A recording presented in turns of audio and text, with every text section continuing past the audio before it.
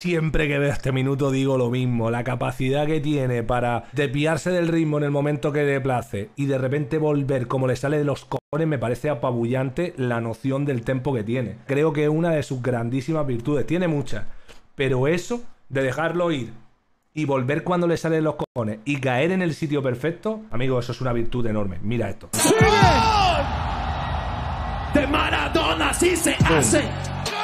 ¿Entendiste o te doy otra puta clase?